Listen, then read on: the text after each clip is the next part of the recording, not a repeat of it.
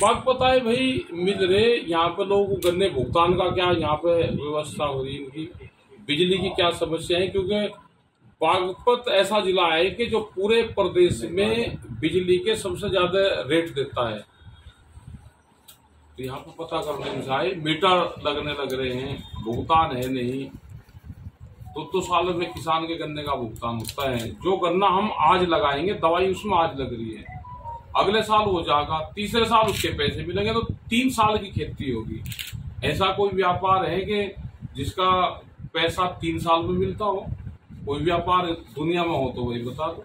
तो इसीलिए किसान घाटे में एक बड़े आंदोलन की देश में फिर ज़रूरत है। सरकारें बातचीत करने को तैयार नहीं है।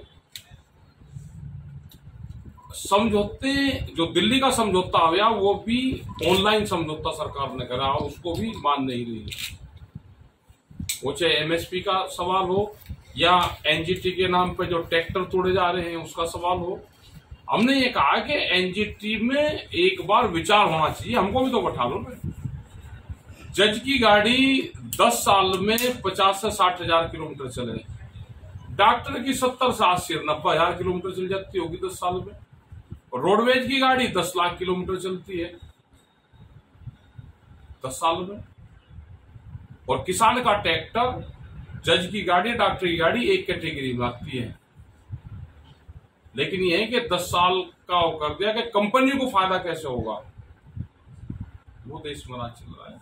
हम पूर्ण रूप से, अगर सरकारें कोई फैसला गलत लेगी, हम उसका विरोध करेंगे। तो जैसा कि इसमें किसान आंदोलन में कुछ मांगे मान ली थी कुछ अधूरी रह गई थी वे अभी तक पूरी नहीं की टिकट। अभी पूरी नहीं की। बिजली अमेंडमेंट बिल पे बातचीत हुई थी कि बिजली पे कोई भी होगा तो आप बातचीत करोगे। कोयले की कमी दिखाकर धीरे धीरे करके रेट बढ़ाने का एक पूरा इनका चल रहा है। दूध के प्रोडक्ट बाहर से आएँगे। इसलिए पूर्ण रूप से ये पशुधन को बर्बाद करने की एक बड़ी साजिश है। सीड बिल है फ़सलों के रेट हैं एमएसपी है तो ये जो सारे सवाल है हमारे मेन ये है कि खर्चा बहुत पड़ेगा लेकिन किसानों के फ़सलों के दाम नहीं है। कोई दौड़ फाड़ नहीं हुई।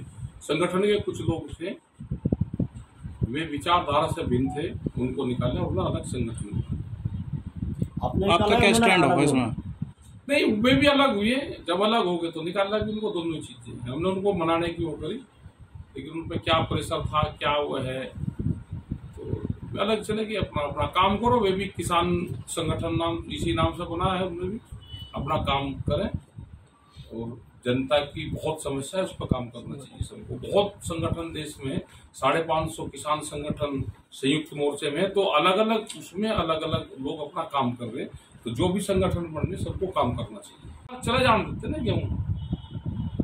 भाई, कुछ ज़्यादा पैसे किसान को मिल सकता था, लेकिन अब की बार गेहूँ रोक दिया कि निर्यात नहीं करेंगे। ये तो देश में पहला मौका था कि किसान निर्यात कर रहा था। हमारे पास में खाद्यान्न का भंडारण है। जो मोटा अनाज है, वो हमारे पास में है। गेहूँ पर ठीक रेट मिले थे तो भेजना चाहिए।